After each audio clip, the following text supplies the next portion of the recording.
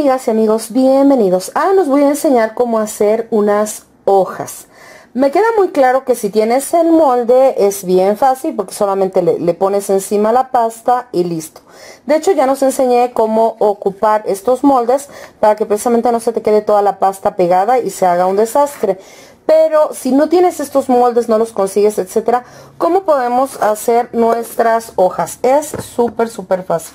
Mira, tenemos nuestra pastita, la vamos a, integrar bien, bien, bien a ablandarla un poquito. Por ejemplo, esta yo ahorita estuve trabajando con ella, entonces ya la tenía un poquito como endurecida.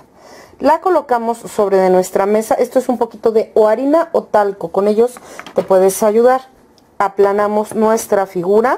En este caso yo tengo el rodillito, pero tú puedes ocupar cualquier cosa, ¿eh? prácticamente puedes ocupar un pincel, puedes ocupar un plumón, etcétera. Ya que tiene grosor que tú quieres que tenga tu hoja, ya simplemente la despegas. Por eso es bien importante que tu mesa tenga talquito o tenga eh, así, em, o talco, o te digo, o harina, para que no se nos pegue, perfecto.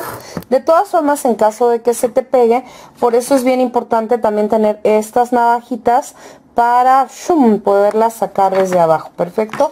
Esta, por ejemplo, desde la forma en la que le di, pues ya quedó solita con forma de hoja.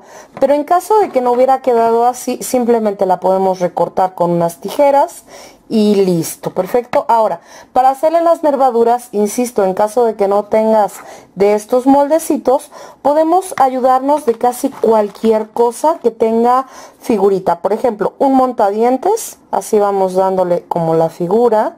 Incluso se le va dando como profundidad, ahí queda.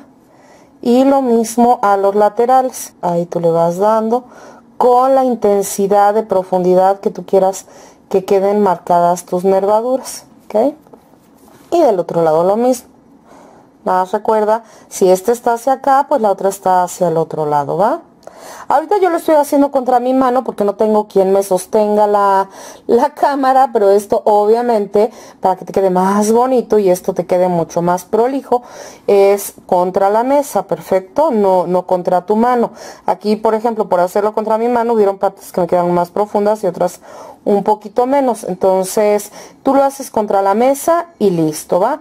Como vemos, es bien fácil, con un palillo puedes hacerlo o con cualquier cosita que tenga un poquito Incluso, por ejemplo, las plumas que ya no pintan te van a servir un montón para este tipo de trabajos porque con ellas podemos hacer un montón de, figuras, de acanalados, etcétera. Las orillas que te queden como esta orilla, simplemente con el dedo tú las suavizas y listo. Una vez que ya tienes la hoja con la las nervaduras y el tamaño que tú quieres, simplemente ya juegas con su forma.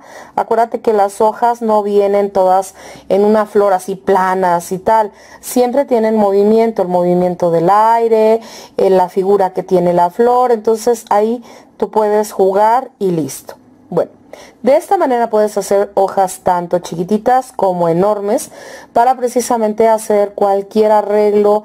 Incluso ya sabemos y se los había dicho que todos estos tips que nos estoy dando para la pasta en frío también se pueden ocupar para el fondant porque finalmente es el mismo principio. Bueno, si estos videos con cómo hacer y tips para trabajar con la pasta fría, con la porcelana fría te gustan, por favor no olvides regalarnos un like y no dejes de suscribirte aquí a tu canal de Cada Una Manualidades. Un enorme beso.